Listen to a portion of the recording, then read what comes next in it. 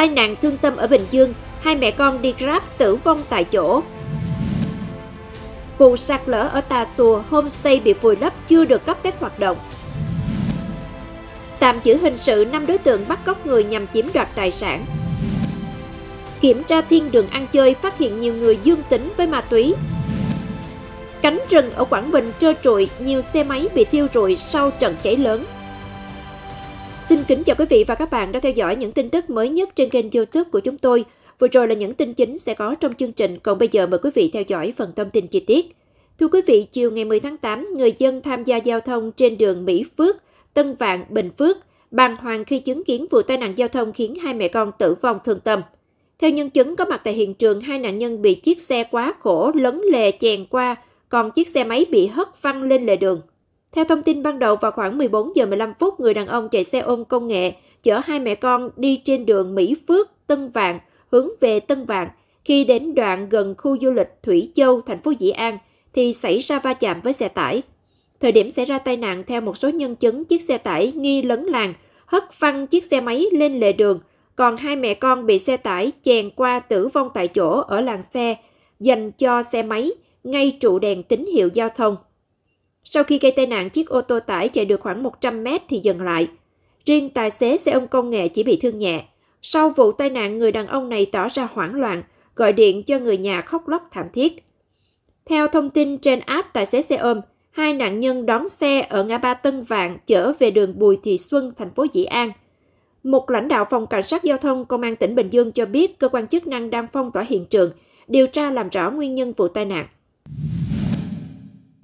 Liên quan đến vụ sạt lở kinh hoàng khiến nhiều người thương vong ở Tà sùa, theo ông Đào Văn Nguyên, Chủ tịch Ủy ban Nhân dân huyện Bắc Yên, homestay bị vùi lấp do sạt lở, là cơ sở kinh doanh chưa được cấp phép. Huyện đã phát hiện vi phạm và yêu cầu tháo dỡ nhiều lần, tuy nhiên cơ sở này chưa thực hiện tháo dỡ. Trước đó, theo báo cáo của Ban Chỉ huy Phòng chống thiên tai và tìm kiếm cứu nạn tỉnh Sơn La, vụ sạt lở xảy ra vào rạng sáng 10 tháng 8 trên địa bàn xã Tà sùa huyện Bắc Yên đã gây thiệt hại về người và tài sản, tuyến đường tỉnh lộ 112 bị ủng tắc. Cụ thể vào khoảng 4 giờ sáng cùng ngày tại bản Tà Xùa, xã Tà Xùa, sạt lở đất đã vùi lấp cơ sở kinh doanh Mando Homestay. Vụ sạt lở khiến hai người bị thương là anh DVL, sinh năm 1990, chủ homestay, cháu DTD, sinh năm 2023, con anh L, và một người tử vong là chị DHG, sinh năm 1992, vợ anh L, Cả ba cùng trú tại bản Tà Sùa, xã Tà Sùa, huyện Bắc Yên. Bước đầu xác định khối lượng đất đá sạt lở khoảng 50.000 mét khối, đã vùi lấp hoàn toàn một cơ sở kinh doanh gồm 20 căn bungalow, vùi lấp một phần một cơ sở kinh doanh phòng nghỉ khác. 10 nhà dân trong phạm vi ảnh hưởng có nguy cơ bị đất đá sạt lở vào. Đất đá cũng vùi lấp và làm hư hỏng nặng mặt đường tại km 13 600, tỉnh lộ 112, giao thông đang bị ủng tắc. Hiện các phương tiện không thể di chuyển qua vị trí này, ước tính tổng thiệt hại khoảng 10 tỷ đồng. Ngay sau khi xảy ra thiên tai, Ban Chỉ huy phòng chống thiên tai và tìm kiếm cứu nạn huyện Bắc Yên đã chỉ đạo các cơ quan chuyên môn, Ủy ban Nhân dân xã Tà Sùa huy động khoảng 300 người gồm các lực lượng công an, quân đội, lực lượng xung kích và người dân tham gia tìm kiếm người bị nạn và kịp thời đưa hai người bị thương ra ngoài. Sau 4 tiếng nỗ lực ứng cứu đến khoảng 7 giờ 45 phút cùng ngày, nạn nhân đã được tìm thấy và đưa ra khỏi đống đổ nát. Ủy ban Nhân dân huyện Bắc Yên đã thành lập đoàn công tác tổ chức thăm hỏi động viên hỗ trợ gia đình có người thương vong. Trước diễn biến mưa lớn nguy cơ sạt lở ở các vùng núi rất cao, huyện Bắc Yên tổ chức tuyên truyền cấm biển cảnh báo nguy hiểm, đồng thời huyện đã lập đoàn công tác đến làm việc và yêu cầu các hộ gia đình chủ homestay di chuyển ra khỏi cung trượt, không lưu trú trong khu vực nguy cơ sạt lở, tuy nhiên vụ việc thương tâm vẫn xảy ra. Chuyển đến tin tức đáng chú ý khác, Do thiếu tiền tiêu xài một một nhóm đối tượng gồm 5 người, tuổi từ 15 đến 31 ở Tây Ninh đã nảy sinh ý định bắt cóc người, sau đó chiếm đoạt tài sản. Sau nhiều giờ truy bắt, Công an huyện Dương Minh Châu, tỉnh Tây Ninh cho biết đã tạm giữ hình sự 5 đối tượng nói trên. Trước đó, ngày 6 tháng 8, Công an huyện Dương Minh Châu tiếp nhận trình báo của anh NTH, 26 tuổi, trú tại xã Trường Hòa, thị xã Hòa Thành, tỉnh Tây Ninh, về việc anh bị nhóm đối tượng lạ mặt bắt cóc đòi tiền chuộc. Cụ thể vào khoảng 23 giờ 15 phút ngày 5 tháng 8, khi anh NTH đang điều khiển xe mô tô đi đến khu vực thuộc ấp Ninh Hòa, xã Bầu Năng, huyện Dương Minh Châu thì bị một nhóm gồm 5 đối tượng lạ mặt đi trên xe ô tô màu đen loại 7 chỗ ngồi, chặn xe mô tô của anh rồi khống chế bắt giữ anh Hát, đưa vào xe ô tô, sau đó gọi điện người nhà anh Hát đòi tiền chuộc. Sau khi tiếp nhận tin báo, công an nhận định đây là vụ án bắt cóc nhằm chiếm đoạt tài sản của bị hại, đồng thời triển khai thực hiện đồng bộ các biện pháp nghiệp vụ và huy động lực lượng truy bắt các đối tượng gây án. Sau 48 tiếng tiến hành điều tra rà soát các đối tượng khả nghi, công an đã xác định được các đối tượng gây án đang lẫn trốn tại thành phố Tây Ninh và tiến hành bố trí bắt giữ được 4 đối tượng gồm Lưu Văn Ninh, Phan Hữu Phước, Đỗ Nhật Tiến, Lưu Thanh Tiền. Thu giữ tăng vật gồm một xe ô tô, một cây quẹt ga giả súng, hai cây dao, hai sợi dây rút, 5 điện thoại di động và trên 42 triệu đồng, cùng một số tăng vật khác có liên quan. Quá trình điều tra, ban đầu các đối tượng khai nhận trước đó đối tượng Lưu Văn Ninh bàn bạc rủ rê các đối tượng Dũng, Tiền, Tiến, lợi dụng đêm khuya đường vắng tìm người để khống chế, bắt giữ rồi yêu cầu gia đình đưa tiền chuộc mới thả người. Sau đó, Lưu Văn Ninh tiếp tục rủ thêm đối tượng Phan Hữu Phước cùng tham gia. Sau khi phát hiện anh Hát đang điều khiển xe mô tô đi một mình, các đối tượng điều khiển xe ô tô áp sát xe mô tô của anh Hát, buộc anh phải dừng lại xe. Cả bọn nhanh chóng tiếp cận và khống chế anh Hát, đưa lên xe. Còn Tiến điều khiển xe mô tô của nạn nhân, tìm nhà nghỉ để ẩn nấp. Ngay sau khi nhận được tiền, nhóm đối tượng này đã trả xe mô tô và thả anh Hát về nhà. Sau đó, các đối tượng đã rút toàn bộ số tiền 80 triệu đồng và chia nhau tiêu xài. Hiện vụ việc đang được Công an huyện Dương Minh Châu tiếp tục điều tra làm rõ, xử lý theo quy định của pháp luật. Sau khi đột kích vào cơ sở kinh doanh For You Club Hải Châu, Đà Nẵng, được mệnh danh là thiên đường ăn chơi của Đà Nẵng lúc nửa đêm, Công an thành phố Đà Nẵng đã phát hiện nhiều vi phạm, trong đó đáng chú ý có 5 khách dương tính với ma túy. Theo đó, thực hiện kế hoạch của Giám đốc Công an thành phố Đà Nẵng về phòng ngừa phát hiện đấu tranh phòng chống tội phạm và các hành vi vi phạm pháp luật tại các cơ sở kinh doanh dịch vụ như quán karaoke, quán bar, quán pub trên địa bàn lúc 0 giờ 10 phút ngày 10 tháng 8, Phòng Cảnh sát Quản lý Hành chính về Trật tự xã hội phối hợp với lực lượng Cảnh sát cơ động tiến hành kiểm tra cơ sở kinh doanh For You Club. Tại thời điểm lực lượng công an kiểm tra dù đã quá giờ quy định nhưng trong quán bar này có rất đông khách đang vui chơi, trong đó có một số khách đang sử dụng sisa, bóng cười. Đáng chú ý, tiến hành test nhanh với số khách đang có mặt tại thời điểm kiểm tra, cơ quan công an phát hiện có 5 đối tượng dương tính với ma túy. Khám xét tại cơ sở, cơ quan chức năng thu giữ 4 bình kim loại, nghi chứa khí N2O, khí cười và 16 bộ dụng cụ sử dụng sisa. Vụ việc sau đó được bàn giao cho Công an quận Hải Châu tiếp tục điều tra xử lý theo thẩm quyền. Chiều 10 tháng 8, thông tin tuổi ban nhân dân xã Quảng Đông, tỉnh Quảng Bình. Đến gần trưa cùng ngày, đám cháy rừng tại khu vực núi Bằng cơ bản được dập tắt. Tại hiện trường, rừng keo, thông và bạch đàn bị thiêu rụi, nhiều xe máy của người dân được phát hiện cháy đen chỉ còn bộ khung. Chiều 10 tháng 8, thông tin tuổi ban nhân dân xã Quảng Đông, huyện Quảng Trạch, tỉnh Quảng Bình.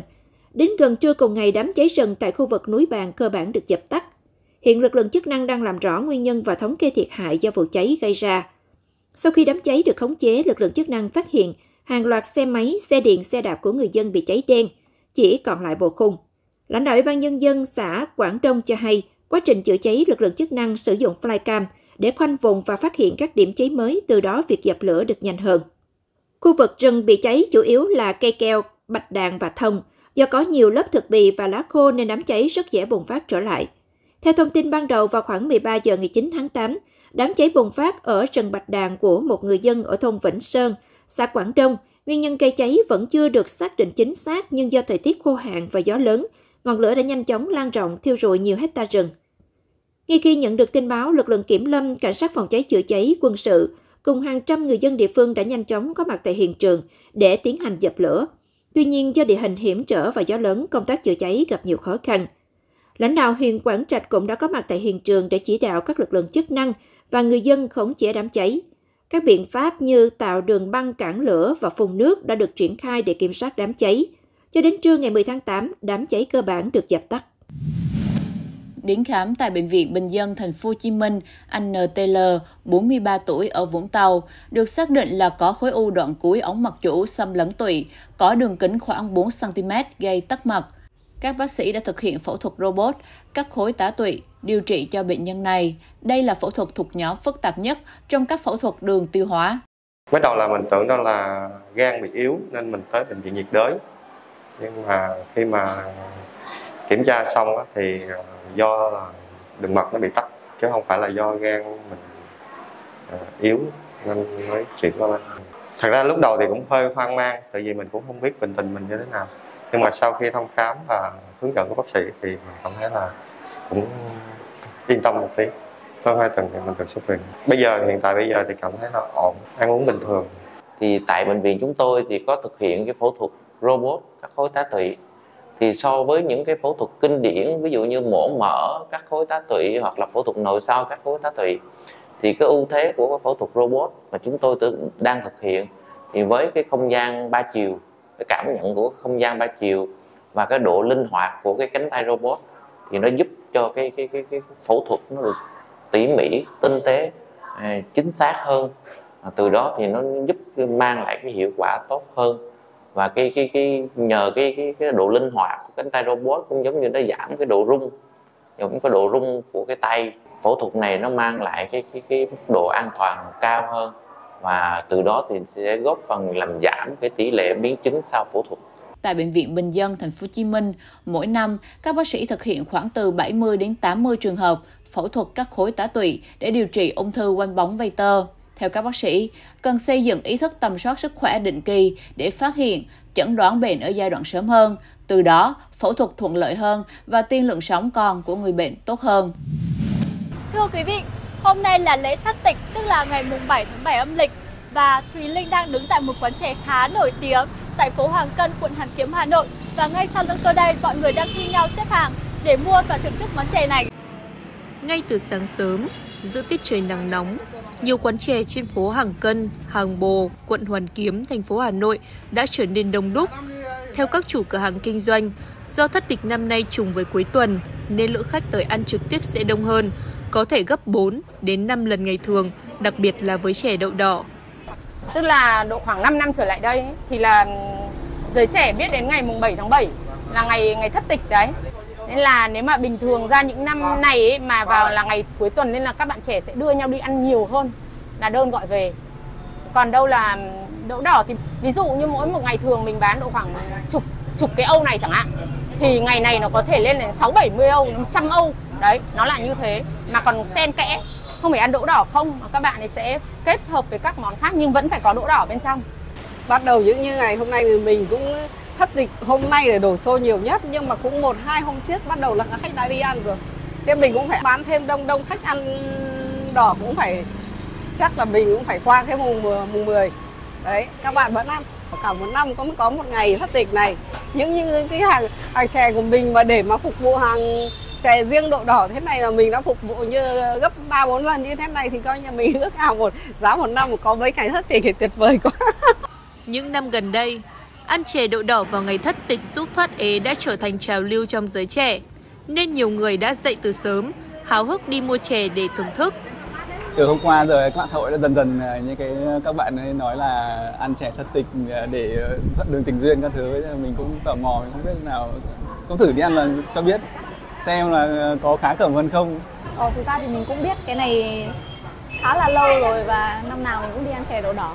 Sau khi mà ăn chè đậu đỏ xong thì mình thấy là chắc là nó cũng có hiệu nghiệm đấy bởi vì xong đấy thì mình cũng có người yêu thật và cứ đến ờ, mỗi lần là gần đến cái mùa thất tịch ấy thì mình lại không có người yêu thì mình lại đi ăn chè tiếp. Năm ngoái thì mình có ăn chè đậu đỏ. Ừ, thậm chí là 7 năm trước mình cũng vẫn ăn chè đậu đỏ nhưng mà đến bây giờ thì vẫn chưa thấy gì nhưng mà mình hy vọng là bát chè thứ 8 sẽ mang lại người yêu cho mình. Theo ghi nhận, giá chè đậu đỏ ở Hà Nội dao động trong khoảng từ 35 đến 40.000 đồng trên một cốc. Trên mạng xã hội, nhiều bạn trẻ cũng háo hức check-in với chè đậu đỏ trong ngày này. Một số món ăn làm từ đậu đỏ trong ngày thất tịch cũng khá thu hút khách như trà sữa đậu đỏ, đá bảo đậu đỏ, tàu phớ và bánh bao đậu đỏ. Kính thưa quý vị và các bạn, hiện tại tôi đang có mặt tại làng Vạn Trài, phường Tĩnh Lang, thành phố Hòa Bình. Những ngày gần đây, thủy điện xả lũ bốn cửa đã khiến cuộc sống của làng Vạn Trài đối mặt với muôn vàn khó khăn. Đây nước uh, sạch để ăn này này, Đây vẫn nước sông rồi thôi, nó nhờ lọc qua than với lại uh, sỏi, cát. Than này thì than uh, củi này mình uh, dã ra cho thì cuộc sống ngày mưa lũ này vất vả lắm. Đêm ngủ cũng lo sợ bão gió rồi thì nước đôi nó chảy cũng lo lắm. Cái chỗ để xe là cũng chả có chỗ nào mà để để lên trên sân cơ thì cũng sợ mất mát. Cuộc sống trôi nổi lênh đênh, quanh năm vén nhà theo con nước, đêm đêm những giấc ngủ không thể tròn bởi tiếng nước chảy xối xả rội xuống, tạt vào mạn thuyền như tạt vào chính cuộc đời bấp bênh của họ. Đấy, nhiều lúc ờ, nước nó đục ngầu này mà vẫn phải múc nước để tắm này. Đấy, còn cái nước trong thì nó có được ít thế để ăn sinh hoạt thôi, còn cái nước này nhiều lúc cũng phải tắm nhưng mà biết là nó bẩn nó ghê nhưng mà vẫn phải phải phải tắm rửa chứ còn chẳng biết làm nào. Coi như là giặt rũ quần áo các thứ cũng ở trực tiếp dưới sông lên mà tắm rửa cũng ở dưới sông lên. Nhiều khi nó còn đục hơn này cơ, đục bẩn hơn này cơ. Cái nước to nó mở đi rồi thì nó trôi đi nó còn đỡ nhưng mà mưa nước nó đóng lại mà khi trong khi ngòi nó lũ ra nó còn đục hơn này cơ từ cái hôm mà nó mở đến hôm nay là gần 2 tháng rồi nếu kéo ra kéo vào cứ kéo ra lại kéo vào quá vất vả Sống cuộc đời lênh đênh xuôi ngược trên dòng nước, hơn 70 hộ dân làng Vạn Trài vẫn đau đáu khát vọng lên bờ, mong mỏi có một tấc đất cắm rủi để ổn định cuộc sống. Theo lãnh đạo Ủy ban nhân dân phường Thịnh Lang đã rất nhiều lần phường kiến nghị lên các cấp có thẩm quyền đề nghị bố trí quỹ đất cho bà con làng Vạn Trài được lên bờ sinh sống. Tuy nhiên, hiện nay vẫn gặp rất nhiều khó khăn, khiến giấc mơ an cư của hàng trăm nhân khẩu vẫn đang bỏ ngỏ.